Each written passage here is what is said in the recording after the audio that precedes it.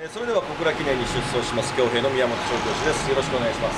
よろしくお願いします。えーズバリ聞きますけど、2000メートルの距離適性ってどうなんですか？いやもうやっぱり走ってみないとわからないんですけれども、せっかくねあのいい状態の時にはい。一回走らせてみたいなと思って、あ。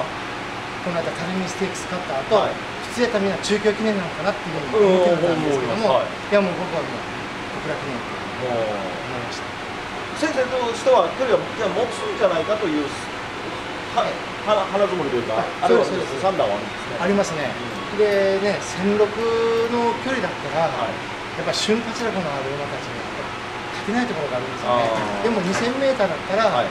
十分強兵のね足決め足になるんじゃないかな。と私は思ってるんですけど。どちらかというと直線も平坦な方がいいようなイメージも僕らもあありますから、はいなんかそういうよりは、はい僕らのはいフラットな方が、はい。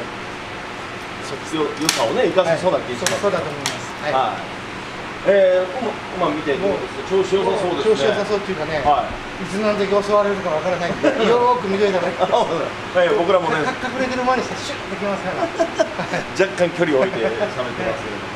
あのこの前にちょっとインタビューの前にねおめかししてそうですねもらって、。ちょうど今までね、はい寝てましたんで。はい、担当者の方ともえらいじゃれやってた あそこ取っといてなかったな取られてた。えーそこ取ってなかっったね 首巻きついて遊んでましたけどねでも毛艶もいいですしそうですね。はいはい。この暑い夏場もじゃああまり苦にせずそうですね。このまま夏の暑い小倉で武将に勝ってますから、はいはい。大丈夫だと思います。得意な季節だ、はい。得意な季節ですね。えー最初追い切り終えられてどんな感触でしたか、もうね、昨日、先週までね、はい。一応もう馬仕上げてたんで、今週は金倉に馬の感触と息を整える程度で、はい。もう楽走の追い切りをかけてもらいました。あそうなんですね、まああの前走パルミステークスの後、まあ6週間もあの1回も報告が出てないんですよ。ずっと在ずっと勤のまま在勤のままで、最初の1週間はね、プール調教したり、はい。波足したり、本当に精神的にリラックスしてもらうような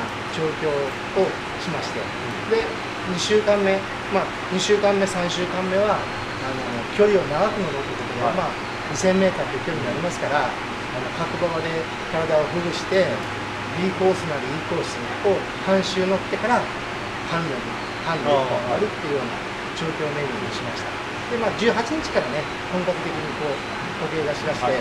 先週にもう綺麗な時計出したので、ええ。もう今週はね、カラグラの感触をつかんでもらうっていう形を取りました。じゃあもう微調整程度でしっかりと仕上がっていったとはい。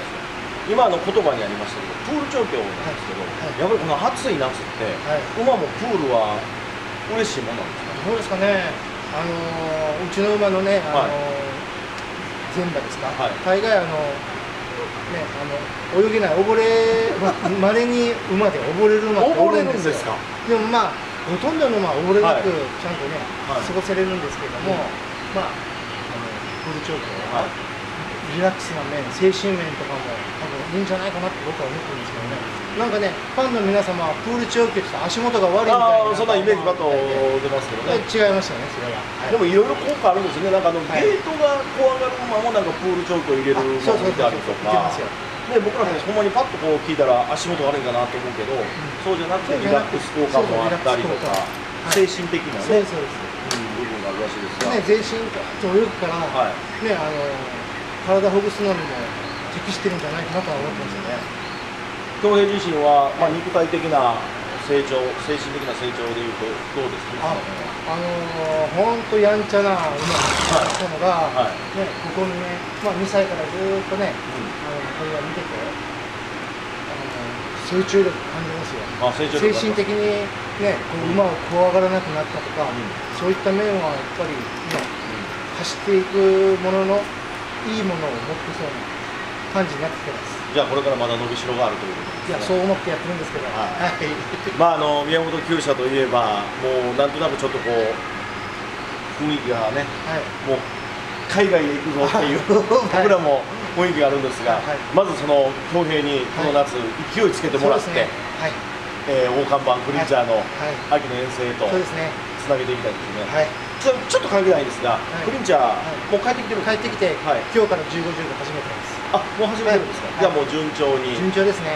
えもう出国予定とかも決まってるもう決まってます。8月の23日にフランスに向けて出国します、で向こうで一層そうフォアショーを使ってフォアショーを使ってから凱旋門賞。凱旋の方ですね、い、やもうちょっと先生もはい。ワクワクが止まらないそうですね。ねもうはい。すべて僕ははなんていうかねあの助手の時にはドバイに馬連れて行ったりしたんですけども、今こうしてね調教師になって初めての海外遠征なので、ワクワクです。日本競馬ファンが、はい。まあもうまあこ競馬ファンのみならずコースマンたちが、い。今一番多分夢に焦がれてる凱旋門ですもんね。はい。ね。はい。ぜひまた。ね、はい。い、い舞台に出させてもらってありがたいです本当にはい。はい。その前に恭平ではい。一つ、はい。ね。はい。大きい勲章を取って。そうですね。はい。はい。勢いつけたいところですよね。はい。それでは最後に報告をお聞かせください、ファンの皆様恭平応援してやってください。よろしくお願いします。小倉記念に出走する恭平の宮本調教師でした。どうもありがとうございましたありがとうございます